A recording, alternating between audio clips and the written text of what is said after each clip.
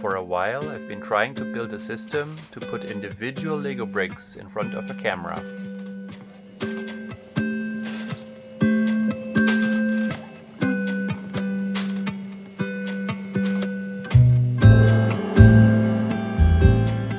This is what the Raspberry Pi camera sees.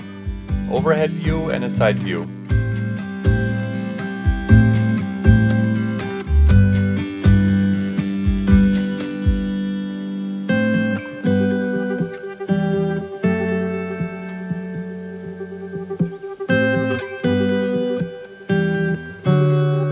Camera tunnel is mostly made from laser cut plywood and acrylic, and it holds a mirror next to the conveyor belt.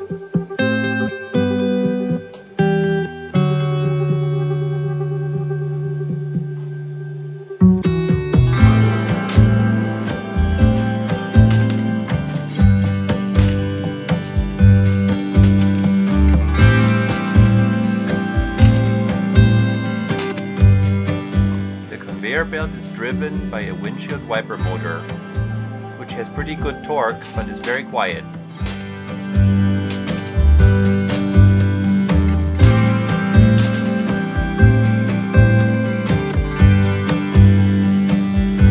An extra long cable connects the Raspberry Pi to the camera.